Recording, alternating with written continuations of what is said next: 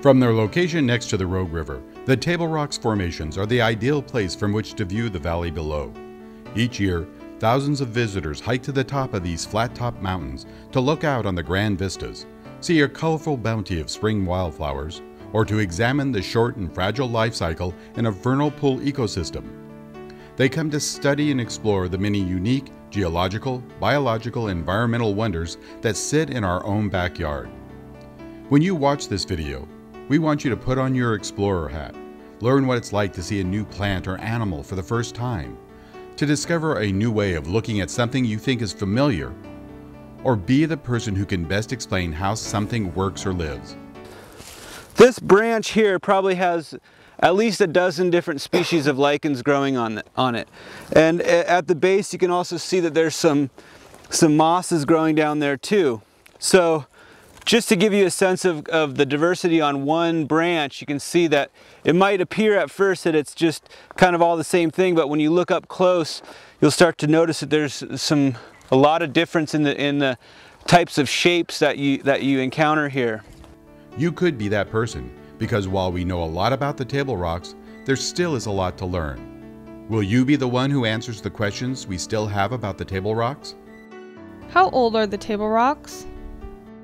The Table Rock andesite cap has been dated by radiometric techniques at 7 million years old. How high are they? The two horseshoe-shaped table rocks are approximately 2,000 feet in elevation, about 800 feet higher than the Rogue River that flows alongside them. What's underneath? Lying underneath the harder andesite lava cap that makes up the tops of the table rocks is the softer soil of the Payne Cliffs Formation, basically soil that was deposited by ancient rivers and streams which date back to almost 37 million years ago, and is what makes up most of the Rogue Valley floor. How did those mounds on top get there? There are three principal theories about how these mounds were formed. Wind and water is one idea. Freezing and thawing is another. And one theory suggests that giant prehistoric gophers made them. What do you think?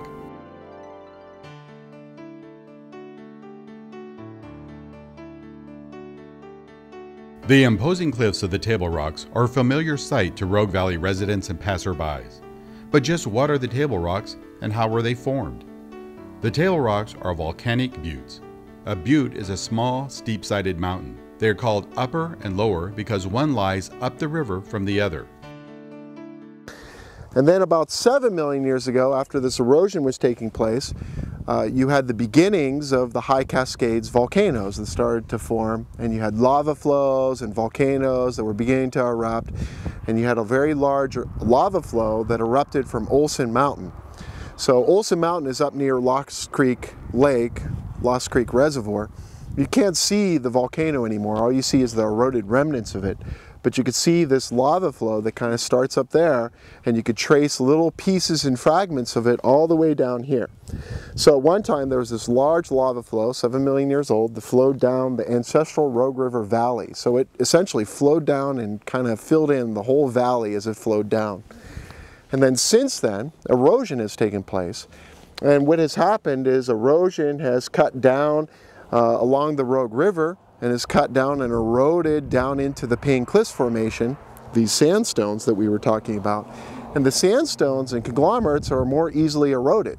So they tend to be more easily eroded by the Rogue River or the ancestral Rogue River, and then leaving behind only this, the, the areas that are the most resistant that are capped by these lava flows. So the term that we kind of give this type of geological process is called inverted topography. So what was once in the bottom of a valley is now at the top of a hill. And currently the uh, table rocks here are about 800 feet above the level of the Rogue River Valley. So there's quite a bit of erosion that's taken place and then leaving behind those remnants of table rocks sitting up high. There's another diagram that's really, really great in kind of illustrating the same idea and this is the one that was put together by the BLM. And again, what it shows is it shows the ancestral Rogue River Valley. And then about 7 million years ago, you had the eruption of Olson Mountain. You had lava flows. The lava flow is actually called andesite, which is a type of the volcanic rock that makes up the lava flows. And that lava flow came down and filled in that ancestral Rogue River Valley. And then over time, the Rogue River began to cut through and erode uh, the underlying material, and then you had slumping and other processes that essentially started to remove a lot of fragments of the lava flow. Uh, and then you had even smaller remnants that were preserved, and then finally you only have a few remnants of the lava flow preserved. Now, there's lots of fragments of this lava flow. Upper Table Rock and Lower Table Rock are the most prominent. So if you actually hike uh, Lower Table Rock, get to the top, and actually look to the west, you can actually see another peak that's capped by the same lava flow, and I believe that's called Castle Rock. So Castle Rock is another example of this hill that's capped by a lava flow. And then if you go to Lost Creek Lake or Lost Creek Reservoir, if you drive around and you don't go into the fish hatchery, but you stay on the highway and go up the hill, if you look to your right, you'll see this very, you know, you'll see these columns of, of material along the highway road cut. That's the same lava flow. So you can find portions of that same lava flow up near Lost Creek Lake. So you can find little bits and pieces of it along the ancestral Rogue River Valley. Erosional processes continue to shape the landscape and break down the table rocks. It is likely someday upper and lower table rocks will no longer be the prominent features in the Rogue Valley they are today.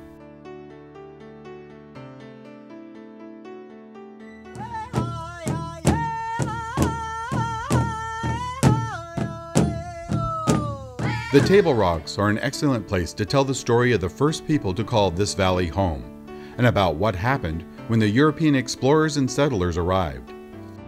It's believed that people have lived in the Rogue River Valley for at least 15,000 years. Archaeologists have found arrows and projectiles called Clovis points that have been dated to about that time. When European explorers and trappers first entered the valley, they found two main tribes. They were the Shasta, who lived in the upper Bear Creek drainage, near present day Ashland, and the Takelma, who occupied the rest of the Rogue Valley. They had similar cultures, but they spoke different languages. Pronounced Dakilma, the Native Americans lived along the middle and upper Rogue River, including the Table Rocks area.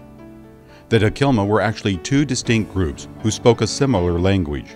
One group is known as the Lowland Takelma, and who go by the name Dakilma, which means those living alongside the river.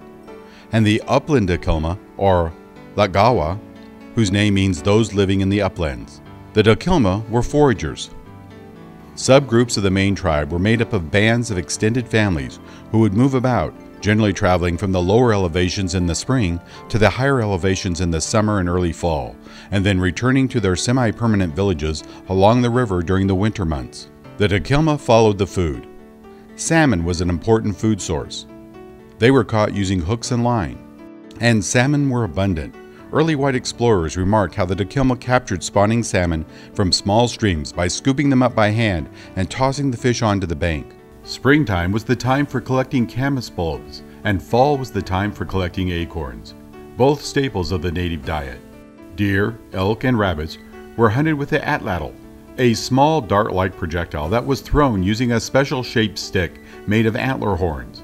Although the Takelma did not practice a widespread form of agriculture, the planting and harvesting of crops, they did grow a form of tobacco, and they did manage the land. During the fall, the Takelma women conducted controlled burns. These burns made acorns more visible for collecting, subdued encroaching vegetation in the oak savanna and chaparral, and kept grasslands open for foraging deer and elk populations. They also managed the wild camas fields. During the winter, the bands of the tribes would gather in a few semi permanent villages. Their homes were rectangular structures covered in split sugar pine planks or bark slabs. Wooden steps inside the doorway led down into the structure. The floors were made of packed dirt. The interior consisted of a ring of space around the inside at ground level, with an excavated pit area in the middle having a central fire hearth. Baskets and food supplies hung on the walls and from the ceilings. The winter months were used for making and repairing baskets, sharpening tools, and for teaching the young the ways of the tribe, its histories and traditions.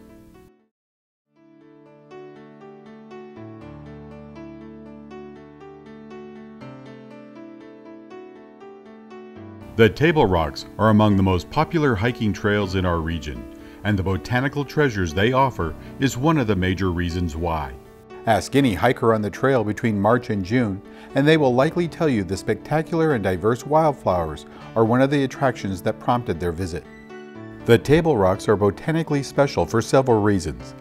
They are a crossroads of several different ecoregions and consequently contain plants unique to those ecoregions.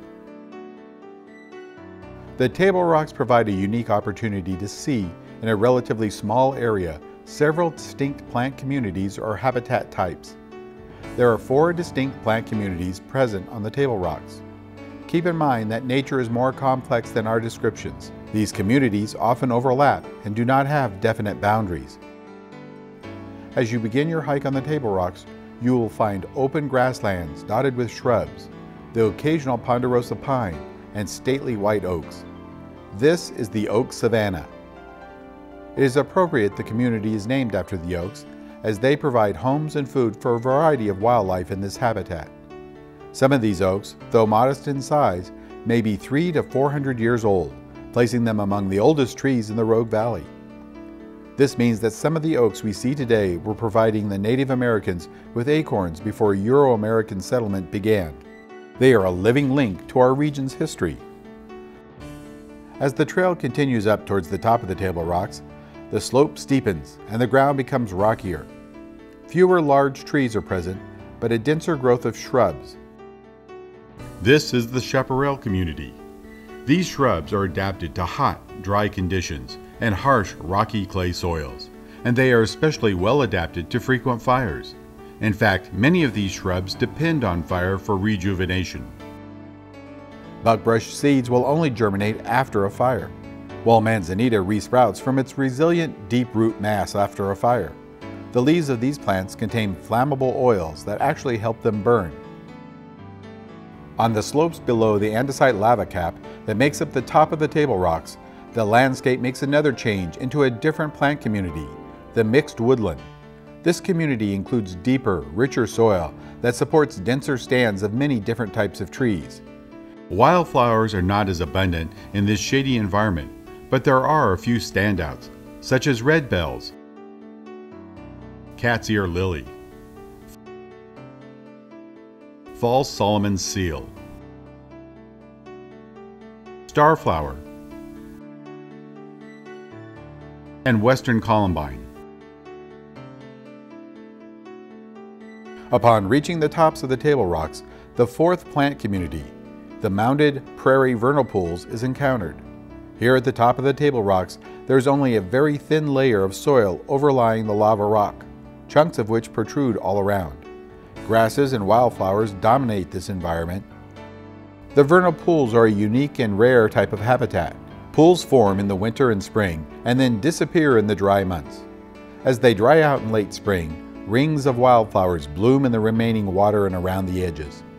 One of these flowers is the dwarf woolly meadowfoam, which grows only on the tops of the two table rocks.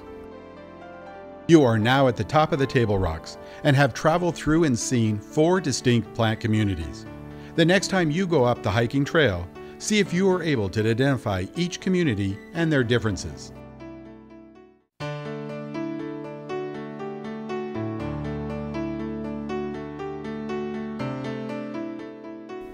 Despite being in close proximity to a number of towns like Central Point, White City, and Medford, the Table Rocks are inhabited by a diverse wildlife population. So this little guy is called a western fence lizard. He's one of many reptiles that you'll see while hiking the Table Rocks. Western fence lizards have a beautiful blue belly that if they're male, they actually like to do push-ups and shine their blue belly to attract a female. The important thing about western fence lizards is when they've been bitten by a tick, their blood actually kills Lyme disease in ticks. So they do an important regulation on um, the spread of Lyme's disease. So there he is, he's doing his push-ups for us, trying to attract a mate and shine his blue belly. They have a detachable tail that is an adaptation which allows them to survive. So the last thing you see of a western fence lizard before it goes under a rock is its tail. That's the same thing that a predator sees just before it goes on. So a predator will grab the tail, the western fence lizard will get away and survive. This is the pahi, or pocket gopher, and it's well adapted for digging and living underground. They have small eyes, very small ears, and a fur that is pretty streamlined. They also have very loose skin, so they can turn around in their burrows and tunnels. The pocket gopher gets its name from its fur-lined cheek pouches. These pouches have their openings outside the mouth, which allows the gopher to dig with its teeth without getting dirt inside its mouth. As you hike the trail, be sure to look for its mounds out in the open areas. So what we're looking at here is a granary tree. And a granary tree is made from acorn woodpeckers. Acorn woodpeckers work together in a family and they spend the fall collecting acorns and putting them inside these old dead snags, an important um, item in a forest is dead trees because it creates a lot of habitat for many different species, including the acorn woodpecker. So in these little holes, they place the acorn so that during the winter time, when there's not as many insects for them to eat, this is their food source. They make a sound like wicka, wicka, wicka. And they also um, have a flight pattern that where they flap, flap, flap, drop down, flap, flap, flap, drop down. So woodpeckers fly up and down and up and down, which is one way that you can tell woodpeckers um, if you see a bird in the distance. There is one animal you can see from almost anywhere on the Table Rocks in the parking lot, on the trail, or up on the top. But to see it, you have to look up. It's the turkey vulture you'll see soaring on the wind near the cliffs. The turkey vulture is very noticeable with its long wings, small head, and long narrow tail. Now, I didn't say it was beautiful, but it is always noticeable. The featherless head is, of course, an adaptation for acquiring food. The turkey vulture is a carrion eater, which means it eats dead animals. Do you know why not having feathers on its heads helps it as a scavenger? To feed, a turkey vulture sometimes has to stick its head into a dead carcass, which might have germs, larvae, and grubs feeding on the same food it wants. If it had feathers on its head, they might get caked with blood, grubs, or larvae, and it would be hard to clean and might get diseased. But having an ugly, featherless head helps it keep itself clean after a meal. These are just a few of the many animals and birds that live on the Table Rocks. Some are very small, some are big, some live underground, some fly overhead, some only come out at night. And the Table Rocks are one place to see the federally listed threatened species of fairy shrimp.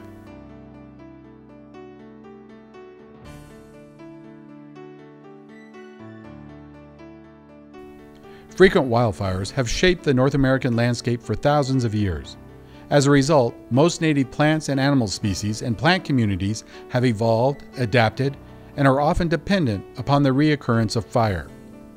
Rogue Valley summers are hot and dry enough that lightning ignited fires occur frequently. At the Table Rocks, the landscape historically experienced low intensity fire as often as every three to five years. In addition to lightning caused fires, Native Americans in this region dramatically shaped the landscape by intentionally lighting fire in the forest. Fire served as a tool to extensively manage the land and maintain a healthy ecosystem, and it is still used by land managers today. It also served a variety of other purposes. The use of fire promotes healthier, more abundant food resources. It maintains open habitat for deer and elk, which prefer freshly sprouted vegetation. In turn, large game is easier to hunt in cleared areas. Native Americans used fire as a tool during warfare to force enemy tribes to evacuate their homes. Smoke from fires was used as a cover or to signal tribal members to gather for warfare. Just as some plant species need fire to regenerate, some plant communities require periodic fire to maintain their health or even their existence. Grasslands and oak savanna are two such fire dependent plant communities. A light surface fire will not kill an established oak tree, but will thin out undergrowth and seedlings of other plant species which would otherwise encroach on the open, grassy understory of the oak savanna. Animal species also rely on fire to stimulate new plant growth for foraging and to maintain diverse habitat types. Burned plants give the soil nutrients, Nutrients from burned organic material are recycled back into the earth and enrich the soil. Seeds of many plants will actually lay dormant in the soil until there is a fire, and then they will sprout in the nutrient rich soil. Plants like buckbrush and manzanita have seeds with a hard shell that require the heat from fire to break them open so they can sprout. Both of these brush species encourage fire by shedding their barks and twigs. When burned, nutrients from this fire prone fuel load are recycled into the soil below the plant. Fire clears brush and debris that can cover the forest floor and prevent other plants from sprouting. Low intensity fires that clear brush and debris decrease the likelihood of a large, severe wildfire. In order to remain healthy, plants and trees need space to obtain proper nutrients, sunlight, and water. When fire is suppressed, trees become crowded and shade tolerant species dominate, decreasing a forest's diversity. A diverse forest is a healthy forest, providing a greater variety of habitats and food for wildlife, as well as forest products for humans. Regular intervals of fire help to keep pests and diseases from taking over plant communities, helping keep the plants healthy. Many animals depend on plants as a food source. An animal's survival can be threatened when diseases and pests take over a plant community. Regular, low-intensity fire intervals destroys noxious weed infestations, making more room and a healthier environment for native plants. However, high intensity fires may actually help noxious weeds spread because they do well in disturbed areas. Trees that do not survive a forest fire turn into food and homes for bugs and small cavity nesting animals. There are actually more living species in and on a dead log than a live tree. Fire helps create these important habitats and maintain a diverse and healthy forest. Despite the many benefits of fire, for several decades, fire suppression was the accepted policy on public lands. Prior to the dominance of fire suppression as a land management strategy, most Western ecosystems experienced relatively frequent, low to moderate severity fires that burned off leaf litter, underbrush, and dead vegetation, preventing these fuels from accumulating. Suppressing these natural fires has allowed fuel to build up, increasing the risk and frequency of high intensity, high severity fire. Fire suppression can have negative effects on many fire dependent species, such as an increase in disease, insect infestation, and displacement by non native weeds. Returning fire to the ecosystem of the West is a serious and important challenge facing land managers today. Decades of fire suppression have resulted in unnaturally heavy fuel loads. Suburban development expanded the wildland urban interface, or the area where wildland and development meet. Thus, reintroducing fire must be done with the utmost planning and precaution, often a combination of practices such as reducing fuel loads by manually removing overgrown vegetation, planning prescribed burns, and managing naturally ignited fires is necessary. By gradually restoring natural fire patterns on public lands, we can protect ecosystem health, natural resources, human life, communities, and property.